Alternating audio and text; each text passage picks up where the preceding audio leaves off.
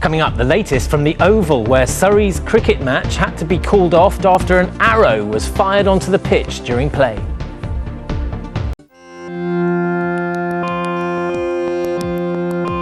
Now, the latest ITV News in London.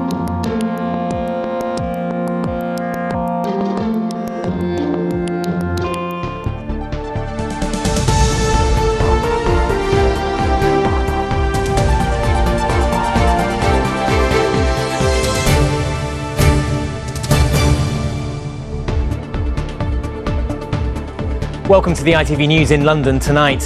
The disabled football fans being let down by England's champions. Chelsea have missed a self imposed deadline to improve views and facilities at Stamford Bridge. It's quite heartbreaking in a way that we spend all this money travelling around up and down the country following our teams, and this is sort of what we get back. Also tonight, breaking news from the Oval Cricket Ground. An arrow is fired onto the pitch during play. They're risking their lives. The warning to children filmed on a dangerous level crossing. And 20 years on, tributes to Princess Diana at Kensington Palace and beyond. Good evening, I'm Geraint Vincent. Chelsea are one of England's most successful clubs and with a billionaire owner, one of the richest too, but tonight they're accused by their own fans of failing disabled supporters. We reported back in January how Premier League clubs had promised to improve facilities by August. But Chelsea still haven't brought their Stamford Bridge Stadium up to scratch, with too few spaces and substandard views for disabled fans. Our sports reporter, Amy Lewis, has more. It is the richest league in the world, teams watched by billions of fans, clubs owned by billionaires. But Chelsea fan Lisa Hayden believes disabled supporters are being let down because of poor facilities at some Premier League grounds. It's like we don't matter, and it's it's quite heartbreaking in a way that we spend all this money travelling around up and down the country following our teams, and this is sort of what we get back is it's I don't know it's it's hard that they don't want to know. This was the view from the disabled seating area at Stamford Bridge last weekend, a view that was obscured when supporters stood up during exciting moments. Lisa always gets a seat as she's been a season ticket holder for a decade, but she claims she's better off watching on the television. It does spoil a game because sometimes I, I, miss the goals, uh, either where they're where they're positioned in the goal area. I can't see it at all and I'll be, the people will be saying that was a fantastic goal. Know. I have to wait till the see it at home. Tottenham, West Ham, and Arsenal told us they have the required disabled seating. Crystal Palace say they've brought their stadium up to standard since we reported in January that they weren't offering enough spaces. But Watford, who are expected to have at least 150 wheelchair spaces, still only offer 100. They are planning to build a new stand, which they say would include the spaces required. Chelsea will also miss this month's deadline, which was agreed by Premier League clubs two years ago. Chelsea have told us that they are looking at ways to improve their facilities for disabled fans, but say the age and the design of the stadium makes things difficult. They're hoping to finish building their new stadium in around five years' time and say that will be compliant. Baroness Tanni Grey Thompson believes clubs should be sanctioned by the football authorities for failing to meet the guidelines. One of the reasons that legislation was avoided about 18 months ago was because they made this promise that by 2017 there would be significant process, progress, uh, and that just hasn't happened. And for football fans, uh, it just means that you know they're they're either in bad seats or they're not able to watch the games. The Equality and Human Rights Commission is reviewing the facilities, but whilst that continues, supporters like Lisa feel they are being let down by the clubs they are so passionate about. Amy, it's such a serious issue you've been following. Are things going to get better anytime soon for Chelsea's disabled fans? Not anytime soon, certainly not until they build the new stadium, it seems. We've been going back to Chelsea for several weeks and asking exactly how many seats they've been offering, and they actually at the moment won't tell us. We do know at the start of the year uh, that they had to offer 215 as part of these guidelines, and they were only offering half of that. Now, in terms of what it would cost to bring it up to scratch, we asked Crystal Palace, who have done it. They say for them it was a million pounds. Now, obviously, all stadiums are different sizes, but when you consider how much just today alone Premier League clubs are going to be spending on transfers, it is small fry. The Premier League say it's too early to talk about sanctions. They're carrying out a review as well, but just in terms of Watford, should mention them as well because they haven't met the requirement too. Their fans have told us they are happy with the number being offered, but clearly Chelsea fans are unhappy. OK, Amy, many thanks. The county cricket match between Surrey and Middlesex at the Oval today had to be abandoned after an arrow was apparently fired onto the pitch during play. Our reporter Katie Barnfield is outside the Oval tonight. Katie, an extraordinary thing to happen. What more do we know? Well, it was just past half past four this afternoon, and Surrey were just about to bowl their next ball when the match was stopped. That was after an arrow, as you said, was fired straight onto the pitch, an arrow with a metal tip. Now, this arrow was about 18 inches long, and it's thought to have been fired from outside the ground. Almost immediately, the umpires decided that the players should leave the pitch for their own safety. They started running into the changing rooms. Pretty soon after that, security said that the fans should take cover as well. And it wasn't long before the entire stadium was emptied. Now, no one's sure why this happened at the moment. All we've heard from the police is that there was a controlled evacuation. There haven't been any arrests, and they're keeping an open mind as to the motive. Now, an official tweet from the Middlesex Cricket uh, County Cricket Club uh, Twitter account, they said that they think it's a crossbow bolt, but we don't know that at the moment. We haven't had any confirmation of that. Thankfully, there haven't been any injuries reported at the moment. Armed police have been escorting fans outside the ground. They're continuing to stay here and uh, they'll continue searching the ground and trying to find out what happened here this afternoon. Katie, many thanks. Network Rail today issued a safety warning for a level crossing in St Albans after filming more than 300 cases of people misusing it in just nine days. Much of the footage shows school children messing around on the crossing, which Network Rail was closely monitoring at the start of July. It says they were risking their lives. Well, our reporter Toby Sadler uh, is at the crossing. Toby, what do Network Rail plan to do about this?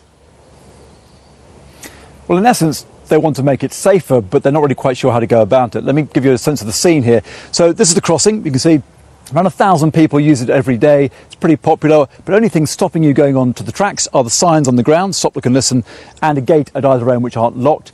And on the other direction, you've got 60 trains going in either direction. So anything preventing you common sense. Of course, that's the thing which these children haven't been employing, the ones caught on CCTV. We've seen them dancing along the tracks, balancing on the wood that's designed to stop them going on the tracks, and standing in the middle of the track as if sort of playing chicken with oncoming trains. Network Rail say that is incredibly dangerous, but in fact, this crossing has already been branded one of the most dangerous in the country.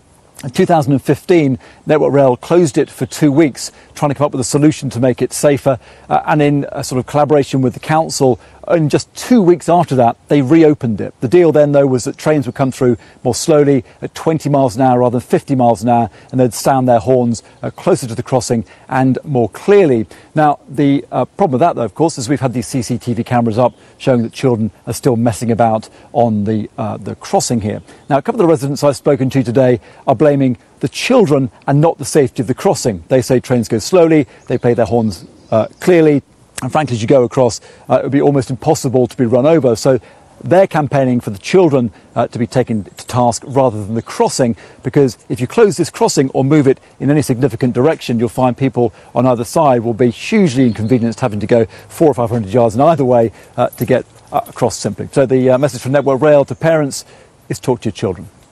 All right, Toby, thank you. Despite the completion of upgrade works at Waterloo earlier this week, there was yet more disruption tonight for commuters. Signalling problems this afternoon meant further delays, with passengers being asked to check before they travel this evening. The problems were between Surbiton and Waterloo. Meanwhile, workers on the Southwestern franchise, which recently took over the running of Southwest train service, are to be balloted for strikes in a dispute over the role of their guards. Members of the RMT union will vote on whether or not to launch industrial action.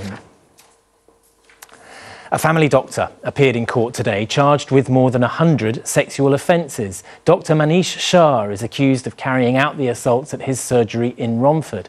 Well, Martha Fairley was in court today and is here now. Martha, tell us what happened. Well, Dr. Manish Shah appeared at Barkingside Magistrates Court accused of 118 sexual offences, including one charge of the sexual assault of a girl under the age of 13. He's alleged to have assaulted 54 different victims, uh, with all the offences said to have taken place at his surgery in Romford between June 2004 and July 2013, which was when he was first arrested. In court, it was indicated that he denies all 118 charges against him, and he will appear at Snaresbrook Crown Court for a pre-trial hearing next month.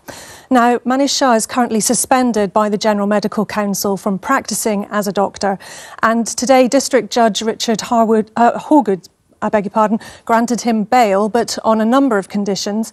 He's been told he must not attend his former surgery, contact any current or former patient or employee of the surgery, and he also must not access any NHS medical records, either directly or indirectly. OK, Martha, thank you. A man arrested outside Buckingham Palace last Friday has been charged with one count of preparing to commit an act of terrorism. Mohiussunnath Chowdhury was detained after he allegedly drove towards a marked police car outside the palace while brandishing a four foot samurai sword. The 28 year old from Luton will have his case heard at the Old Bailey at the end of next month. And the deadline expired today for survivors of the Grenfell Tower fire to apply for an immigration amnesty. The government announced the 12 month amnesty in July. Critics had called for it to be longer to encourage survivors living in the UK illegally to come forward. Now, on this day, 20 years ago, the tragic death of Diana, Princess of Wales, was being mourned around the world. She died, of course, in a car crash in Paris, but it was this city which was the focus for the deep sense of loss that so many people felt in this country. Kensington Palace, where the princess lived, was the place where people went to pay their respects back then, and I've been back there today. 20 years on, Diana still draws a crowd. Flowers are laid and letters written to a princess whose legacy now reaches new generations. You feel a connection, a strong connection with this woman who died the year you were born. Mm-hmm. I do. She's uh, supported many causes that I admire very much. No matter where you are in the world, everyone is kind of thinking of the royal family and Diana on this day. Kensington Palace was Diana's home, and 20 years ago its gates were the focus of an extraordinary show of popular grief. For a few days, Britain shook off its reputation for reserve as it mourned the loss of a public figure with whom so many felt a personal bond. Uh, I think as a, the loving mum and um, just kind, caring person that she was, um, someone that I'd love the children to, to know what the sort of person she was like um, because she was so kind and caring and loving. The flowers are fewer now, but her most faithful fans won't stop delivering them. I was a super fan. I loved her. I really, really liked her. And she meant a lot to me. I met her probably 40, 50 times. Did you? At public events, yeah. And we, we got on very, very well. Her beauty, her warmth, her ability to connect, the qualities that made Diana so special, still mean a great deal here. The London hospitals where Diana made regular visits to AIDS patients they were remembering the princess today. Former patients, members of staff, and the families of those who have been treated at the Mildmay Hospital in East London attended a special service for her and spoke of the warmth and compassion she showed during her lifetime, as Carolyn Sim reports.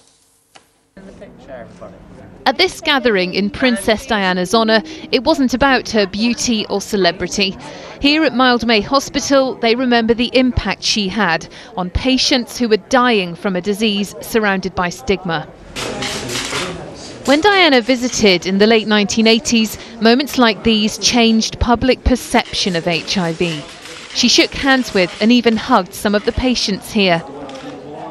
At the time, Helen Taylor Thompson, seen here on the left, was chair of the hospital. She says Diana's support was badly needed. So little was known about AIDS, and what was known, it was very, very difficult, a lot of stigma. We had bottles thrown through the windows, we had people wouldn't come, we lost a lot of support, but we took no notice. Julian Labastide was a nurse at Mildmay and met Diana during three of her visits. He watched his patient's spirits rise when she came into the room. It wasn't a manic environment, it was very much.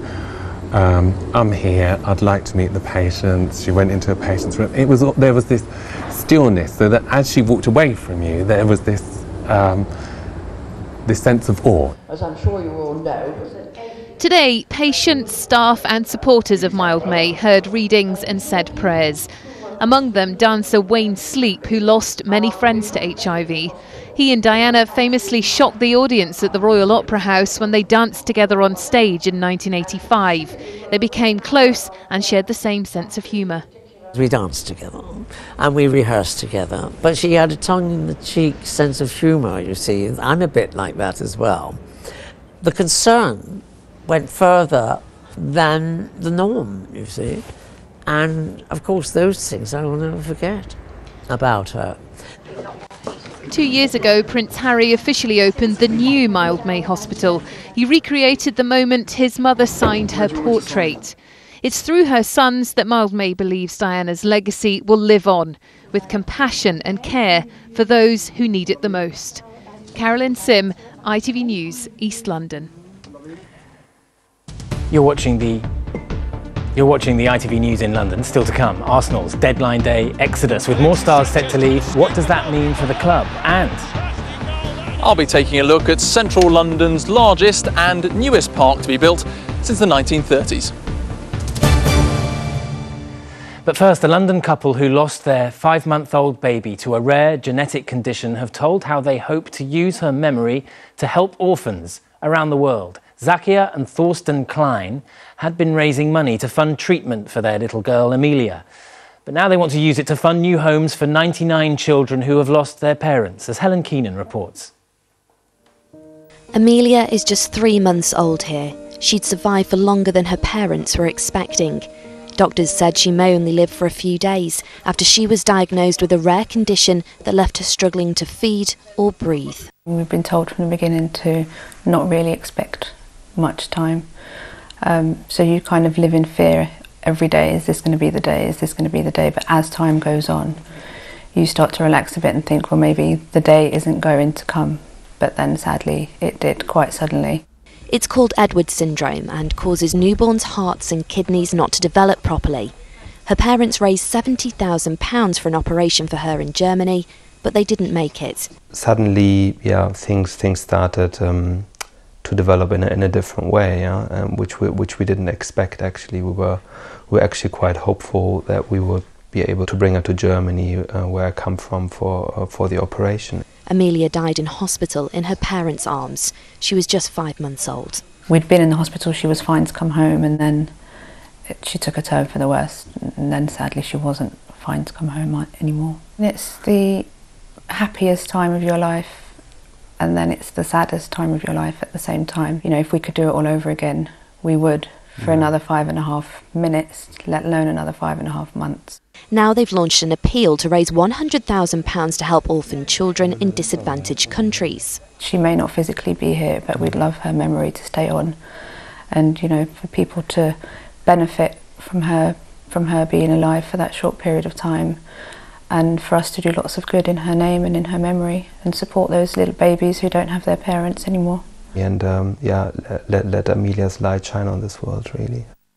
Zakia and Thorsten want their daughter's memory to live on through the foundation and spread the joy she brought into their world across the globe. Helen Keenan, ITV News. The ITV News continues with the national and international stories at 6:30. Here's a look at what's happening with Mary Nightingale. Britain's accused of demanding an impossible deal with the EU as no decisive progress is made in talks. The Brexit Secretary admits it's been a high stress week with divisions over the divorce deal. Explosions and leaks at a flood damaged chemical plant near Houston force evacuations. And tributes in Paris and at Kensington Palace 20 years after the death of Diana. Well, do join me for those stories and more at 6.30. Now, when the football transfer window finally closes in a few hours' time, if you listen closely enough, you might be able to hear the sighs of relief coming from the Emirates Stadium. Some big names have left Arsenal in the last 48 hours. Alex Oxlade Chamberlain joined Liverpool today. Last year's star player, Alexis Sanchez, might also be on his way before the evening is out. Warren Nettleford reports. In May, Arsenal celebrated winning the FA Cup, but three months on, that jubilation has been replaced by despair and dejection. Arsenal's season hasn't quite started how it ended. In fact, many fans are saying the club is in crisis. So things aren't going so well for Arsenal so far this season. They've lost two of their first three games in the league. They've been forced to sell one of their best players to their rivals, and fans seem very unhappy with their transfer business so far. In fact, with just hours to go, fans have got a clear message for the Arsenal hierarchy. Arsenal sign some players. And this fan is convinced signing players will help Arsenal compete. Instead of us being enthusiastic, we're not. We're depressed. Transfer deadline day, we should be excited about players coming in. All we're talking about is who's going to go. It's not good enough. This is what the fans are talking about. A string of players have been leaving Arsenal. Yesterday, England defender Kieran Gibbs left to join West Brom. Today, another England international, Alex Oxlade Chamberlain, moved to Liverpool. And Manchester City have increased their bid to sign striker Alexis Sanchez. Could he be leaving too? Alexis Sanchez trying to scoop the goalkeeper. Sanchez's goals fired Arsenal to relative success last season. The club say they want to keep him. But just minutes from the Emirates Stadium today, these young footballers share their concerns about the team. If Sanchez goes, um, I'll be upset because I've got um, an Arsenal t-shirt at home and it's got him on the back. I think he might stay and then he might leave next year. Is Arsene Wenger still the best man for the job? Yes. End of. The transfer window closes at 11. Arsenal fans' views on where the club goes next will continue long after. Warren Nettleford, ITV News. Britain's worst airports were named today, and London Luton was the one that came out on top. Results from a survey by the consumer group Which show Luton recorded the lowest customer satisfaction score in the country for the fifth year running. London airports didn't place well overall, with Stansted named the second worst. Now, London's newest park is holding its big opening event over the next few days. Elephant Park is all part of the multi-billion pound redevelopment of the Elephant and Castle area and Martin Stew is there tonight. Martin. Well, yes, they're saying this is the largest park to be built in central London since the 1930s. That may say more about how little we've built in terms of parks rather than the size of this place. Half of it's open at the moment, just to show you. Uh, behind that hoarding back there, there'll be another acre. It'll be two acres in total. If we spin round, I can show you a few things, get your bearings really. Got the shard in the background there over the tree, and just round there you can see uh, the Elephant and Castle Overground Station in the back of the shopping centre. Many people know. This has all been turfed, it's all been landscaped, and the reason they're redeveloping it is all to do with up there just some of the 3,000 new homes being built here, a huge redevelopment project. And Rob Heasman is one of the developers who's behind this project. Rob, green space in London, it's important. How difficult is it to ensure that with what, three times more people going to be living in this area, we make it a nice place to live as well? Yeah, absolutely. I think that's one of the key challenges. We can all concentrate on the buildings that go up, but obviously the green spaces give the chance for people, the wider community, to actually enjoy the place. And what we've been able to do here at Elephant Park is actually bring forward half of what is going to be a fantastic new park to open at what is quite an early stage of the project. Uh, we've got some mature trees behind you with a kids' playground there, and as mentioned at the beginning, you're going to push it back another acre. So behind that hoarding there is going to be some more green space for football and the community to enjoy. Yeah, sure. And in fact, the hoarding lines on either side of us as well also will go out. So this is a very significant part of open space for London. And across the Elephant through 2017, there's been a series of new spaces that have opened. So the, the place is really changing for the better. Rob, thanks very much. And as you mentioned, they're going to be launching it. There's a, an elephant. A, what's the name, Rob? I've kind of completely.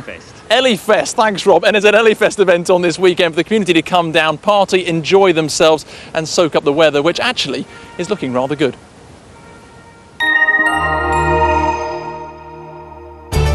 Live vividly, whatever the weather. Piriteze allergy tablets sponsor the London weekday weather. Well, what a difference a day makes after that cold, dismal, wet day yesterday. Lovely sunshine here at the moment. And tomorrow, well, a mixture of plenty of sunshine, just a few showers once more. Saturday, looking like a lovely day, bright and fine, the best day of the weekend before Sunday turns a little more cloudy and some rain then into Sunday night. If we take a look at a pressure chart, we can see what's going on. A little bit of high pressure starting to build in, bringing settled conditions through tomorrow and Saturday when we get that sunshine. Then cloud builds through Sunday, and if we turn on the temperature layer, change of colours there, we can see behind that rain is warmer air coming in from the west, so turning slightly more humid and muggy as we go into Monday. Back out to tonight and this evening, well, a slightly fresher feel, uh, clear skies as well overnight, relatively light winds. It's not going to be quite as cold as last night, but it is going to be a bit cooler than we've seen uh, over more recent nights. So temperatures in some rural spots may just get down to single figures, low double figures for the rest of us. Now, with those clear skies, tomorrow morning, we're off to a really lovely start. Barely a cloud in the sky. It's going to be dry, it's going to be sunny, much like this morning, though it will be a bit warmer from the get go. From lunchtime onwards, we notice a couple of showers, particularly out towards the east, which could be a little heavy in places, maybe even the odd rumble of thunder. But in the sunshine, slightly warmer than today, highs of 21 degrees. Then, as we go through the evening, those showers start to dissipate and clear away to leave a clear night before we then head into the weekend. And as mentioned, we'll take a look at Saturday because that is going to be the best day of the weekend. Medallions across the board, plenty of sunshine, very nice indeed. Cloudier on Sunday, rain overnight Sunday into Monday, then that more humid, cloudy picture during the day on Monday. The London weekday weather, sponsored by the Piri Range. And that is all from us this evening. We're back with the latest after ITV News at 10. Coming up, it's Mary with the ITV Evening News, but from me and the rest of the London team. Bye bye.